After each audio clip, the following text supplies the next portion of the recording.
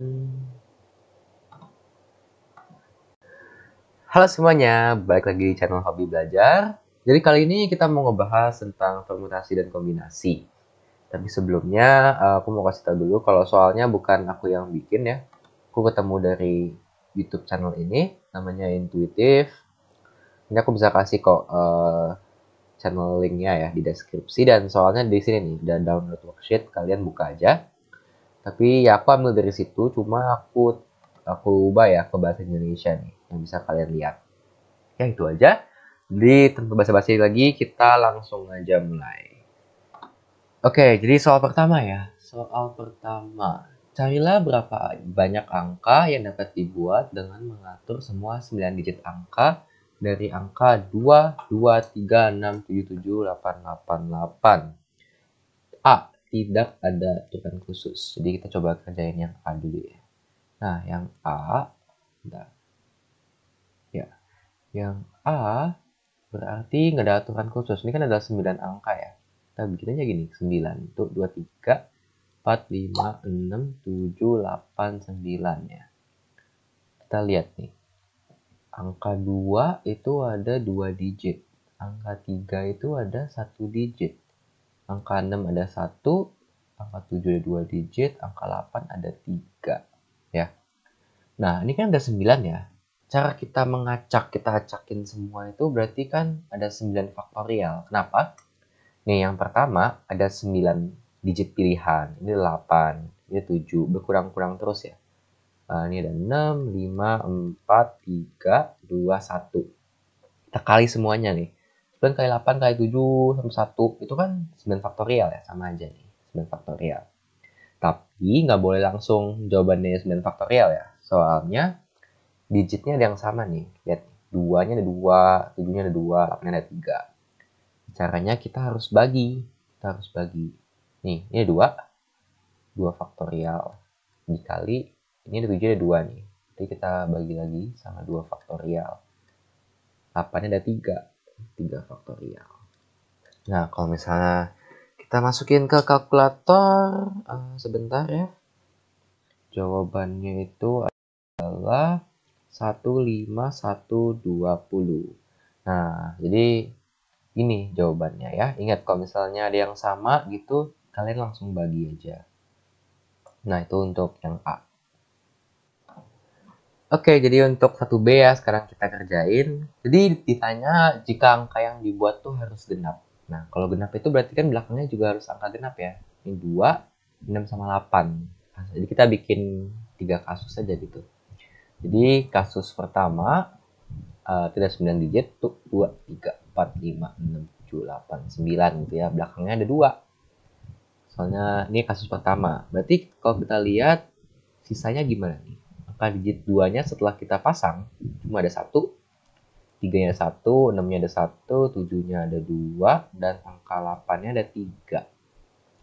Berarti kita mau ngacak 8 angka, karena ini udah pasti di sini kita acak 8 bagi yang sama. Nah, ini 2 faktorial, 3 faktorial, ini ada 2, ada 3 ya. Nah, kasus kedua. Ah, kasus 2, 2, 3, 4, 5, 6, 7, 8, 9 gitu ya. Kita berarti belakangnya kita bikin 6. Masih genap ya, pasti genap. Nah, jadi kita lihat maka kalau kita taruh 6, 2-nya akan ada 2, 3-nya ada 1, 6-nya ada 0. Jadi kita abaikan aja sini ya.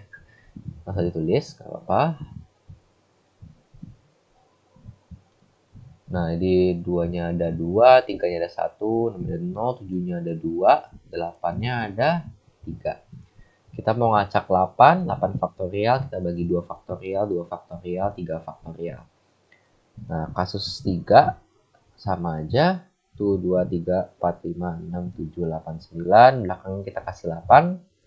Nah, jadi duanya itu sisa dua, tiganya masih satu, enamnya masih satu, tujuhnya ada dua, delapannya hati-hati di dua ya.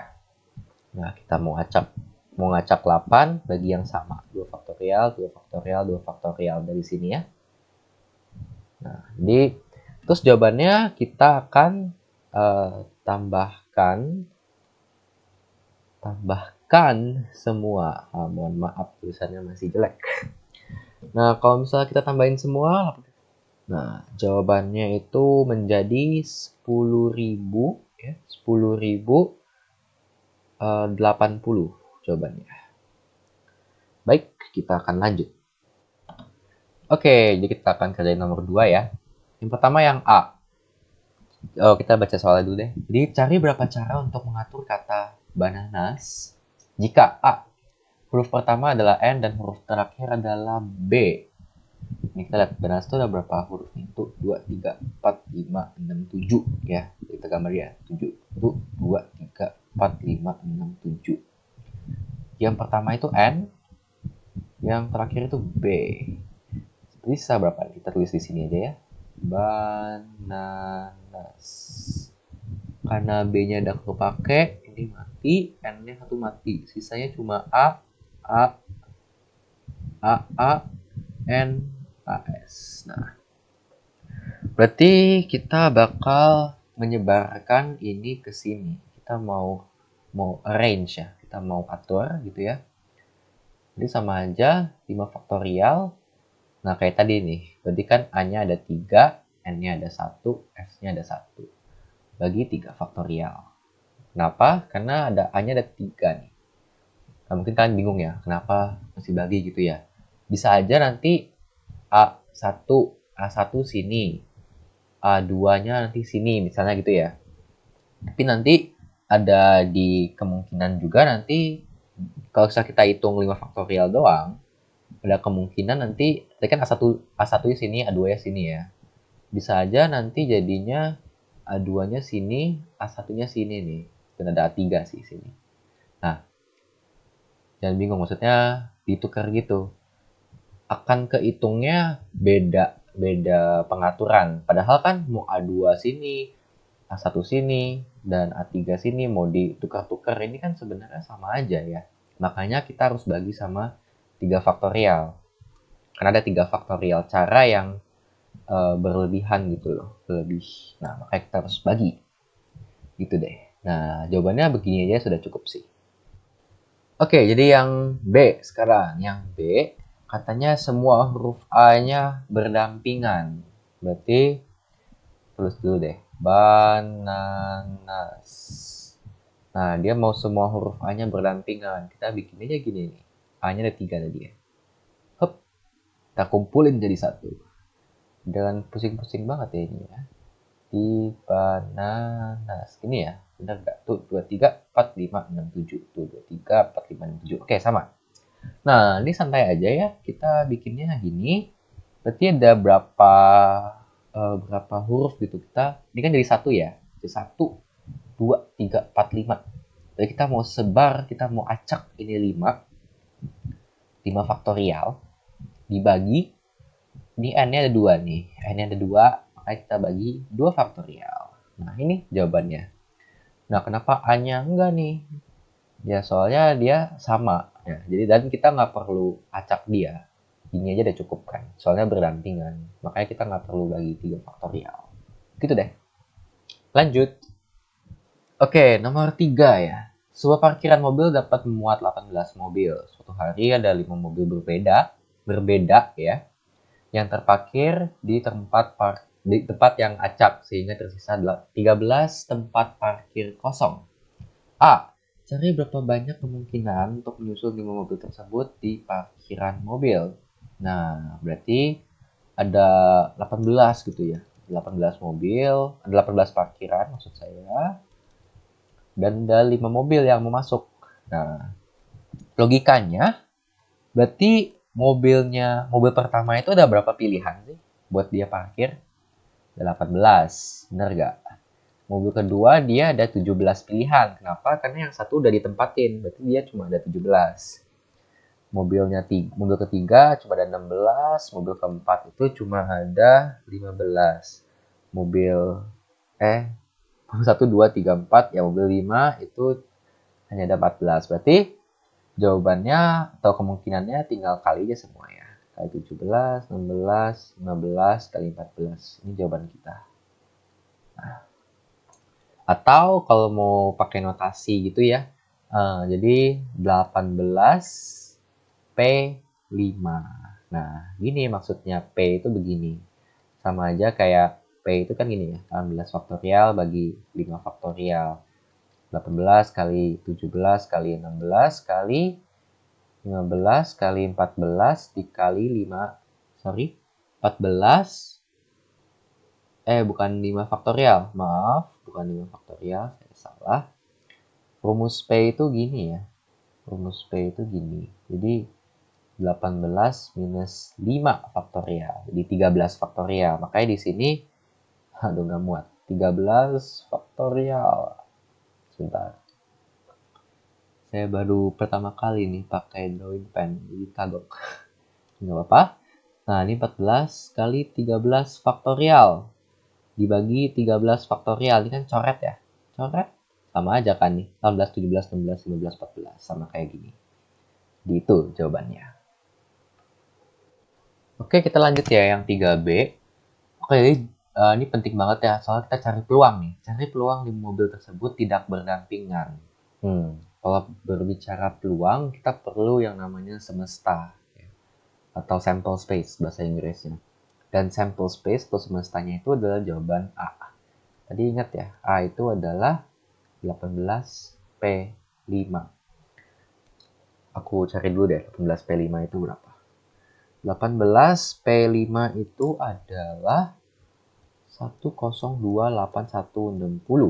Nah, kalau masukin kalkulator. Nah, kalau B itu berarti peluang tidak berdampingan. Aku kan pakai komplement ya. Jadi P tidak dampingan gitu ya aku tulisnya aku bakal bikin jadi 1 minus P dampingan. Boleh ya? Kan komplement. Berarti kita kita mikirnya gini nih. Tidak mobil 1, mobil 2, mobil 3, mobil 4, mobil 5. Aku akan gabung jadi satu. Dan akan ada parkir, parkir, parkir gitu ya. Ada sebesar, ini kan 5 berarti ada 13. Ada 13 gitu ya. Nah, anggap aja gini Nah, usah pusing. Berarti gimana dong? Kita akan mengacak mereka. Ini kita anggap jadi satu, ini ada 13. Berarti kan kalau kita mau ngacak, berarti ada 14 objek yang kita akan acak. Bener gak? Kan ada 14 objek yang kita acak. Dan uh, karena ini berbeda di antara mereka ini, akan masih bisa diacak-acak lagi ya. Soalnya kan mereka berbeda ya. Makanya penting banget nih, berbeda. Karena mereka berbeda, kita bisa mengacak di antara grup ini. Maka kita kali 5 faktorial. Habis itu kita lihat lagi nih, ada poin penting. Tempat parkiran, parkiran kosong, ini maksudnya parkiran kosong ya, kan sama semua ya, nggak, nggak penting.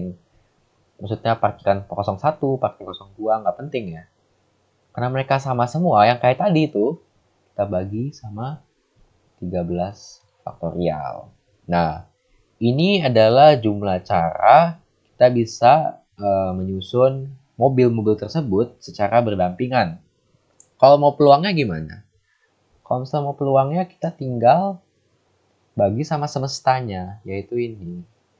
18 P5. Nah, makanya aku bilang penting banget kan uh, yang jawaban A Berarti kalau misalnya kita cari jawabannya itu adalah Oke. Okay. Ini adalah uh jelek jelek juga angkanya. 0,0016 163. Nah, ini adalah peluang dampingan. Berarti jawaban akhirnya jawaban sama dengan 1 minus 0,00163 sama dengan uh, 1 minus 0,00163 itu adalah 0,99837. Duh, salah. Error. 11837. Maaf, misalnya jelek. 0,99837. Itu jawabannya. Lanjut. Oke, soal terakhir. Nomor 4. Enam orang pergi berperahu. Ada tiga perahu yang tersedia. Satu perahu buat tiga orang, satu perahu buat dua orang, satu perahu untuk satu orang. Saya berapa banyak cara untuk enam orang tersebut dapat dibagi untuk menaiki perahu. Berarti perahu pertama ini ada tiga, tiga spot ya. Saya dua, perahu dua dua, perahu satu satu. Eh, enggak, gini. Perahu satu ada tiga spot, ada tiga pos tiga tempat duduk lah. Perahu dua ada dua tempat duduk, perahu tiga ada satu tempat duduk. Nah, begini. Nah, berarti kalau kita hitung secara logikanya, uh, tempat duduk pertama ini bisa diduduki oleh enam orang kombina uh, kemungkinannya. Yang kedua ini lima orang. Kenapa? Karena orang pertama duduk sini bisa lima. Sama aja untuk selanjutnya ya gini. Nah, yang pertama kita lihat nih. 6 kali 5 kali 4 mungkin kan pikir ya. Tapi salah ya. Kenapa salah? Karena misalnya A, A B, C gini. Bisa aja aku taruh orangnya di sini ya, BAC. Bisa juga CAB. Apakah kita peduli dengan posisi mereka? Ya enggak, asalkan mereka satu perahu aja kan. Makanya kita harus bagi 3 faktorial, karena ini ada sebanyak 3 faktorial kalau misalnya kalian uh, mau deretin satu-satu gitu ya. Nah, tapi kita nggak bakal deretin, kalian bisa coba sendiri. Nah, dan ini itu sebenarnya apa sih? Ini ini adalah 6C3 atau 6 choose 3. Aku sih bilangnya choose. Soalnya kayak 6 choose 3, 6 pilih 3 gitu. Nah, sama aja ini ya. Ini kan berarti apa? 3 kali 2 bagi 2 faktorial atau 3 choose 2. 6 dipilih 3 bisa 3. 3 kita pilih 2 dan 3 choose 2 nah ini kan satu ya jelas. Cuma kalau mau pakai bentuk kayak gini juga boleh sih. Jadi tiga pilih dua sisa satu. Satu dipilih satu. Setuju satu. Ini satu sih. Nah, ini berapa nih? Ini kita boleh masukin kalkulator atau aku manual aja deh biar kalian bisa lihat gitu ya. Rumusnya apa sih? 6 faktorial di 3 faktorial 6 minus 3 faktorial ketika 6 faktorial dibagi 3 faktorial dibagi 3 faktorial sorry sini. Dan ini adalah 6C3 6C3 itu 20 6C3 itu 20 3C2 3C2 itu adalah sama aja sih caranya kayak tadi. ya 3C2 itu adalah 3 dan ini satu berarti tinggal kita kali aja ya kali semuanya itu 20 kali 3 kali 1 sama dengan 60 cara selesai Oke teman-teman itu dulu ya dari aku. Kalau kalian anggap video ini bermanfaat, jangan lupa like dan subscribe. Dan semoga channel ini bisa membantu lebih banyak orang. Oke itu dulu, sampai jumpa, bye-bye.